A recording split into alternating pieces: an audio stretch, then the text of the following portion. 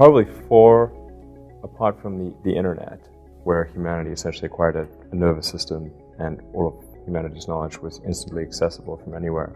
There's sustainable energy, so the transition to sustainable production and consumption of energy, ho- hopefully the extension of life to another planet, um, writing genetics, uh, and AI. I'm, I'm, more optimistic than Stephen Hawking um, or uh, Martin Rees, who's that astronomer royal. He, thinks it's quite likely that civilization will end this century. Um, but I'm, I'm, personally more optimistic about uh, civilization. And, and I did say multiplanetary. You say, what, what's the future you want? What's the future that seems, oh, that, that'll be a good one? Um, then I think you want to have a future where we're a spacefaring civilization, a multi-planet species, we're out there exploring the stars. It's just to be, I think that'd be great. Uh, but, uh, I mean, a strong second, and, and I think for some people maybe it, it, will be the first motivation, is the preservation of uh, the future of consciousness um, and, and, and human civilization as we know it. I mean, we, I think we have effectively created a, a kind of a superorganism before the internet, and particularly before advanced telecommunications. Uh, communication was incredibly slow. It would basically it would have to go from one person, literally, you know, to another. Uh, so, suddenly, all the world's information, all of humanity's knowledge, is instantly available to to any any person. That's just like one cell in your body having access to all the information about the rest of your body we are going to face in the mid part of the century, it, and, and particularly the latter part of the century, a demographic implosion, the likes of which we haven't seen, including the Black Plague. It's as though someone went through and, and, and killed half the population, or at least of the future population. There's something better happen to turn this around. At this rate, the only thing that'll be left will be robots. You know, th- three generations of 50% birth rate, of uh, you know 50% replacement rate, uh, gets you to 12% of where you were. And those those poor 12%, all they're going to be doing is taking care of their grandparents. I mean, eventually there just won't be people at that rate. Uh, the other, I mean, I think religious extremism is obviously a concern. You know, if, that um, if that grows over time, Yeah, I won't mention the third one.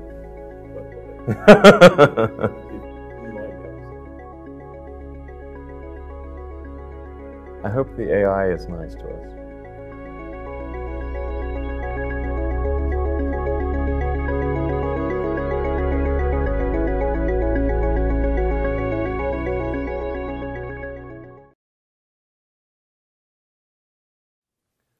Well, I think I think there's going to be probably probably four apart from the, the internet. You know, there's the internet as sort of class as one sort of really big innovation um, where humanity essentially acquired a, a, nervous system and all of humanity's knowledge was instantly accessible from anywhere. Um, but in the other areas, I think there's sustainable energy.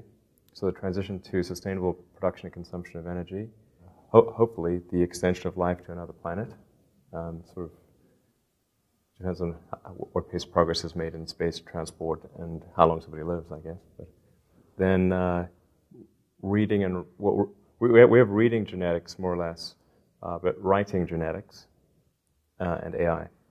You have a confidence that we have the capacity to do those things, the human species. We're doing them.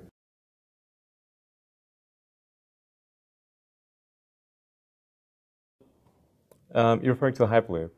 I was reading about the high-speed rail project in California, and it, and it just didn't, it, it, seemed like we were going backwards.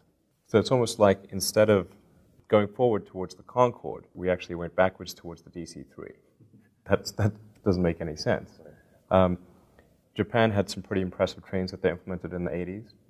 Um, then, uh, then China implemented an even more advanced train. So it seems that one should, in the UK and California, we should try to say, okay, what can we do that's, that's a step beyond that? Not, not, not, from, a, not from the standpoint of one, one-upmanship, but, but rather from the, the, standpoint of feeling that the future is going to be better. Um, that, that's the thing that, that's, you know, if you, you get up in the morning and you think the future is going to be better, it's a bright day. Otherwise, it's not. I'm not actually against like high-speed rail. Like, uh, if we just did high-speed rail that was, say, a step uh, above the Shanghai line. Yeah. Shanghai line is state-of-the-art uh, in, in China let, us just take it a, just a half a notch uh, better than that, uh, and uh, and then make sure we've got a, a, a straight path from LA to San Francisco as well as the Milk Run.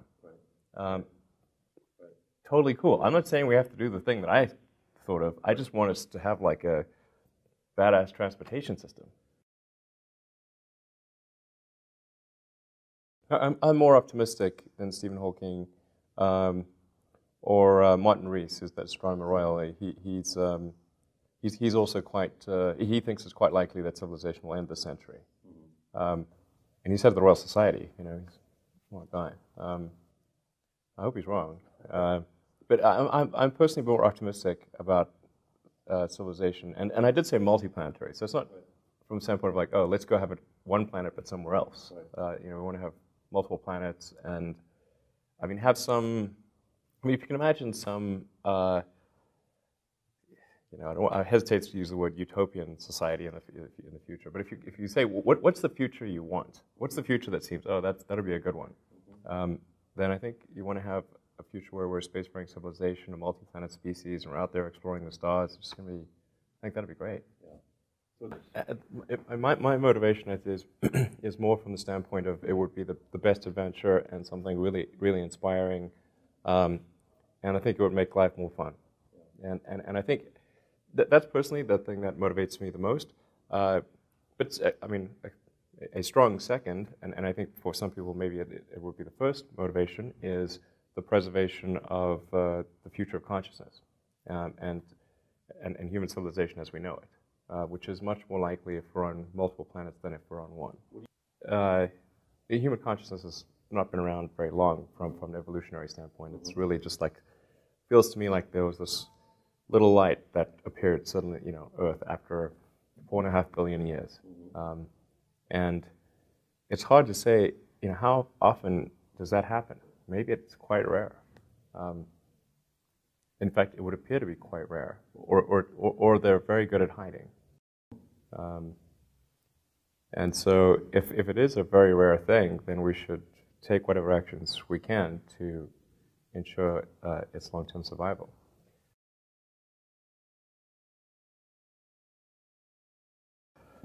I mean, we, I think we have effectively created a, a kind of a superorganism you know, just, just in the same way that uh, it, when we just had multicellular creatures without nervous systems, and they would just communicate via osmosis. Mm-hmm. And um, before the internet, or particularly before advanced telecommunications, uh, communication was incredibly slow. Um, it would basically it would have to go from one person, literally, you know, to another, and, and maybe at best that person could carry a note from another person. That that was but, but it's still literally person to person. Um, so unless one person bumps into another person, they're pretty much not going to communicate. And with, uh, with, with um, telegraph and the telephone and then the internet, particularly the internet, uh, suddenly all the world's information, all of humanity's knowledge is instantly available to, to any, any person. Um, and that's just like one cell in your body having access to all the information about the rest of your body. It is evolution on a, on a new plane. I, I think uh, I think demographics is, is a real issue where people are not having kids in a lot of countries. And you know, very often they'll say, "Oh, solve it with immigration." Immigration from where? If Europe has an average, or many parts of Europe have an average of of a 50 or 60, you know, they're, only at 50 or 60 percent of what's needed for replacement, or China for that matter. They're at half replacement rate. Where exactly are we going to find 600 million people to replace the ones that were never born? I think people are going to have to regard, to some degree, uh, the, the, notion of having kids as almost a social duty with, within reason. I mean, just if you can and you're so inclined, you, sh- you, sh- you should. You know, it's like, uh, otherwise, civilization will just die, literally. The birth rate is strongly correlated to, uh, well, it's, it's, inversely correlated to wealth, inversely correlated to education, um, and correlated to religion. So the more religious you are, the less educated, uh, and the poorer you are, the more kids you will have. And this is true across between countries and within countries. Um, In, in the US, the highest birth rate is in Utah with the Mormons. Yeah. I think if you're saying what are threats to civilization, uh, the, the lack of people is obviously a threat to civilization. Um, we are going to face in the mid part of the century, a, and, and particularly the latter part of the century, a demographic implosion, the likes of which we haven't seen, including the Black Plague. The math is obvious. When, when, when did China ever experience a 50% reduction in its population? Never. I mean, basically, pre writing, okay, because no one's ever written of such a thing. Even the Black Plague, uh, I mean, that, that would, Black Plagues would go through, they might, I think that they made, might have demolished like a quarter, but never a half. And, and yet, Spain, birth rate of 50%. It, it's, it's, it's as though someone went through and, and, and, killed half the population, or at least of the future population. Yeah. Um, th- there's something better happen to turn this around, because otherwise, the, the, the, you have a demographic, an inverted demographic pyramid, it's, and it's going to. At this rate, the only thing that'll be left will be robots. You know, th- three generations of 50% birth rate, of uh, you know, 50% replacement rate, uh, gets you to 12% of where you were. And those, those poor 12%, all they're going to be doing is taking care of their grandparents. I mean, eventually there just won't be people at that rate. Uh, the other, I mean, I think religious extremism is obviously a concern. You know, if, if that um, if that grows over time, uh, particularly if it's a sort of a luddite form of religious extremism, anti-technology, anti-technology, anti-science. right, anti-science, right, exactly. Um, then that's an obvious threat. Um, yeah, I won't mention the third one. What? you, you might, you have to say it. I hope the AI is nice to us.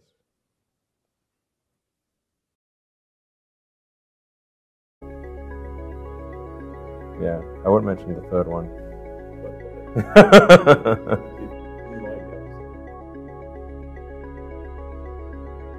I hope the AI is nice to us.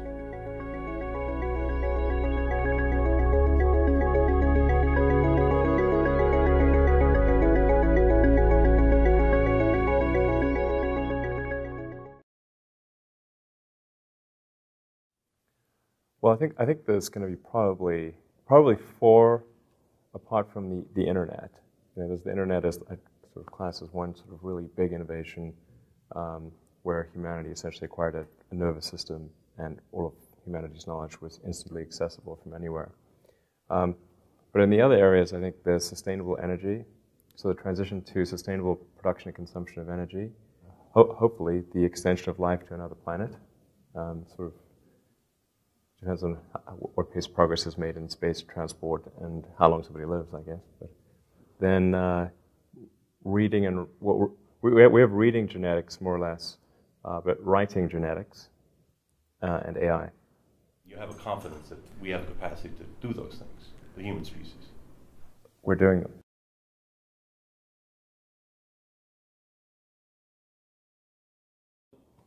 Um, you're referring to the Hyperloop. I was reading about the high-speed rail project in California, and it, and it just didn't, it, it, seemed like we were going backwards. So it's almost like instead of going forward towards the Concorde, we actually went backwards towards the DC-3. That's, that doesn't make any sense. Um, Japan had some pretty impressive trains that they implemented in the 80s. One. Um, then I think you want to have a future where we're a spacefaring civilization, a multi-planet species, and we're out there exploring the stars. It's just to be, I think that'd be great. Uh, but I mean, a strong second, and, and I think for some people maybe it, it, will be the first motivation, is the preservation of uh, the future of consciousness um, and, and, and human civilization as we know it. I mean, we, I think we have effectively created a, a kind of a superorganism before the internet, and particularly before advanced telecommunications. Uh, communication was incredibly slow. It would basically it would have to go from one person, literally, you know, to another. Uh, suddenly, all the world's information, all of humanity's knowledge, is instantly available to, to any, any person. That's just like one cell in your body having access to all the information about the rest of your body. We are going to face in the mid part of the century a, and, and particularly the latter part of the century, a demographic implosion, the likes of which we haven't seen, including the Black Plague. It's as though someone went through and, and, and killed half the population, or at least of the future population. There's something better happen to turn this around. At this rate, the only thing that'll be left will be robots. You know, th- three generations of 50% birth rate, of uh, you know, 50% replacement rate, uh, gets you to 12% of where you were. And those, those poor 12%, all they're going to be doing is taking care of their grandparents. I mean, eventually there just won't be people at that rate. Uh, the other, I mean, I think religious extremism is obviously a concern. You know, if that um, if that grows over time,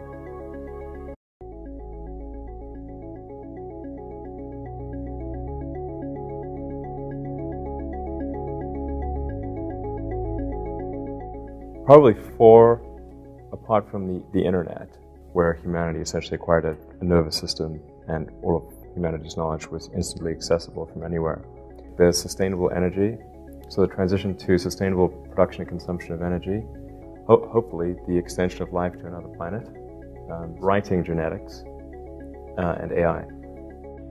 I'm, I'm more optimistic than Stephen Hawking. Um, or uh, Martin Rees, who's that astronomer royal, he, thinks it's quite likely that civilization will end this century.